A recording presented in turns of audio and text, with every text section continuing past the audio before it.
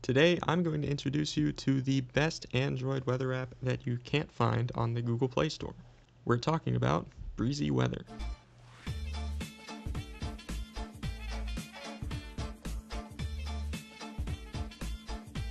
Breezy Weather is a free open source weather app with beautiful animations, a simplistic design, and loads of useful features.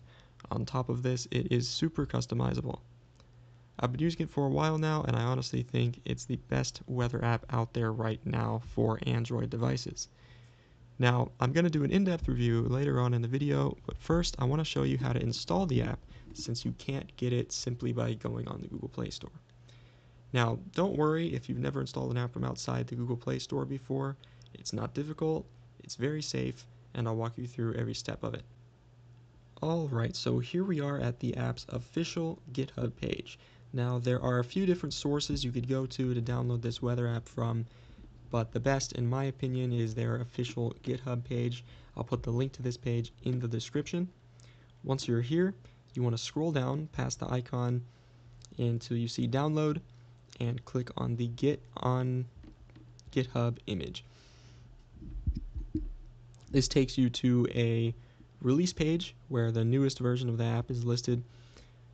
Scroll down until you see all the different attached files here. Now, for 95% of people, you're going to want to download the first file that says ARM64. So make sure you download the ARM64 file.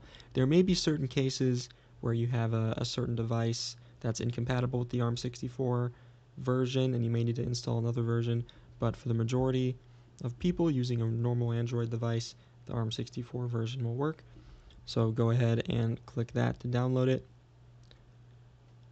so the file downloaded I'm going to click open now if you've never installed an app from somewhere outside of Google Play Store uh, for example Google Chrome in this case it'll give you a warning, a security warning, saying that you're not currently allowed to install apps from other sources. But you can't change the setting. So this is perfectly safe. This app's perfectly safe if you download it from their official GitHub page, so there's nothing to worry about. Go ahead and click Settings and check Allow from this source, and immediately it should continue on, prompting you with the installation page for Breezy Weather. You can click Install, and it'll go ahead and install it just like any other app would install from the Google Play Store from this point. Alright, so we can go ahead and open this and it'll give you a location prompt here so allow location access precise is better sometimes allows you to choose approximate or precise precise will give you better uh, weather current to your location so definitely click that and while using the app is fine Okay, so here we go. This is the interface with the weather app. The main page here. As you can see, it's blue and there's kind of clouds, light clouds and stuff that move around as you move the device around. The animations change based on the current weather and the current time of day, which is kind of cool. I think it looks nice. Um, you can see here it gives about a basic information. You have daily forecast, hourly forecast, and you can pick whatever different information you want to show like UV index. You can get UV index hourly or daily in this case. You could get UV index hourly here.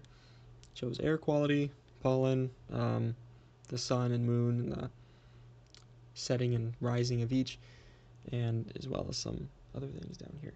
So it is pretty feature rich. It does show a good amount of stuff.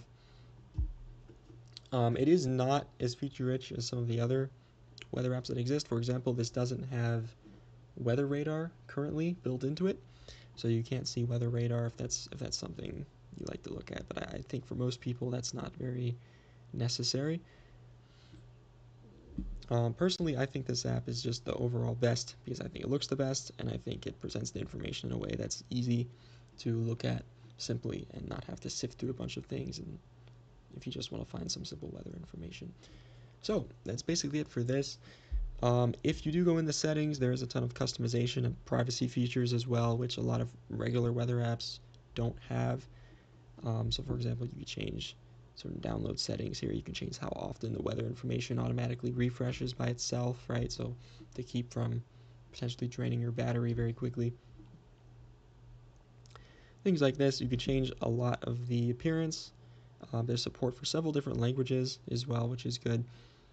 Uh, there's a dark mode, light mode, all this kind of stuff. You can change the icon packs if you want to do so. Of course, you can change all the different units. Let's see, of course, you could you could go really in depth here. You could change the order of the different um, cards of information. You can change the order of daily trends, the hourly trends. All of this stuff is, is basically customizable, which is very nice. You could enable notifications for weather, um, notifications for precipitation, if that's something that you want. You can do a lot, a lot of different things. You could customize where it pulls the weather information from. Uh, so accuracy may vary by place. So certain places may be more accurate from certain sources, for example. You can change all of this stuff. You can get very in depth. Most people won't have to mess with any of this. I'm just kind of showcasing real quick. Uh, there's widgets. There's a live wallpaper. So there's there's a lot of different stuff to look at, and all of it looks nice and clean and modern. Uh, some weather apps look kind of ugly and clunky, and information's hard to see in my opinion. So this one's very nice. It's worked great for me so far. Everything is just simple and easy to look at. So, um, and it's all open source as well, and pretty privacy oriented, which is nice too. So that's about it for this video, just a quick thing showcasing breezy weather.